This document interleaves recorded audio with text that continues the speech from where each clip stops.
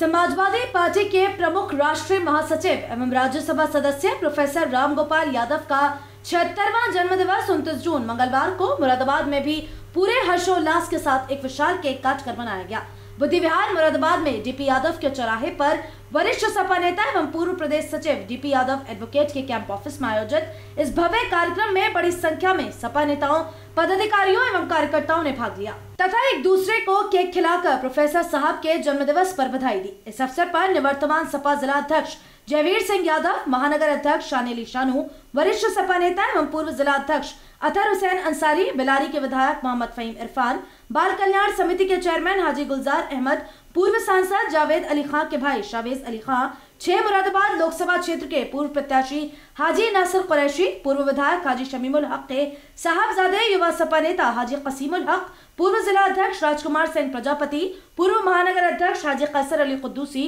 पूर्व मेयर प्रत्याशी हाजी मोहम्मद मारूफ, सपा महिला सभा की जिला अध्यक्ष बेगम अफरोज जहाँ वारसी, वरिष्ठ पार्षद श्री गुल एडवोकेट, सपा नेत्री सविता यादव, समाजवादी पार्टी के निवर्तमान जिला कोषाध्यक्ष अमित प्रजापति, नगर विधानसभा क्षेत्र अध्यक्ष हाजी नाजर खान, राज्य गौसेवा आयोग के पूर्व सदस्य ठाकुर राहुल सिंह, लोहिया वाहिनी के निवर्तमान जिला अध्यक्ष लालू परवेज, पूर्व पार्षद जहीर आलम अंसारी निवर्तमान सपा महानगर महासचिव धर्मेंद्र यादव के साथ साथ वरिष्ठ सपा नेता यूसुफ खलीफा, Alhaj Syed Raisuddin Naimi, Alhaj Syed Uvais Miyan Naeemi, doctor Vikas Chaudhary Syed Sarwar Mirza Manoj Yadav, Ravi Yaduvanshi Farid Malik advocate, Fazil Malik, Haseeb Ali, Luqman Khan, Chaudhary Nabi Hasan, Abdul Karim Khan, Mahendra Singh, master Rais Ahmad Saifi, Rais Warsi, Hafiz Naseem Qureshi Qadar Khan Mohammad Azeem Kuddusi Firasat Hussain Gama आदि भी मौजूद रहे। निवर्तमान सपा जिला अध्यक्ष जयवीर सिंह यादव ने इस अवसर पर प्रोफेसर रामगोपाल यादव को उनके जन्मदिन पर बधाई देते हुए कहा।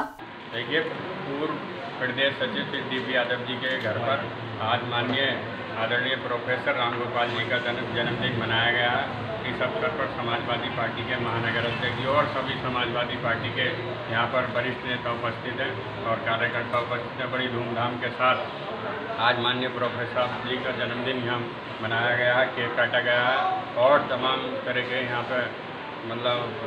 प्रोफेसर साहब के जन्मदिन बहुत हर्षोल्लास खुशी के साथ मनाया गया है। और आज यही कार्यक्रम आज जी पी यादव जी के घर पर हो रहा है। इसी में सब समाजवादी पार्टी के कार्यकर्ता यहाँ उपस्थित हैं और सभी ने एक दूसरे को केक खिलाकर माननीय प्रोफेसर साहब की दीर्घ आयु की कामना की है और बधाई दी है शुभकामनाएँ दी सपा महानगर अध्यक्ष शानेली शानू ने इस मौके पर कहा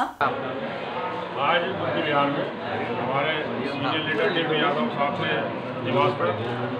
प्रोफेसर राम गोपाल यादव जी का छिहत्तरवा जन्मदिन समाजवादी पार्टी के कार्यकर्ताओं और नेताओं द्वारा मनाया गया है। और मैं जन्मदिन की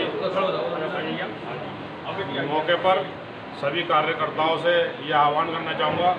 कि जब प्रोफेसर साहब का अगला जन्मदिन आए तो हमारी सरकार में आए, अखिलेश यादव जी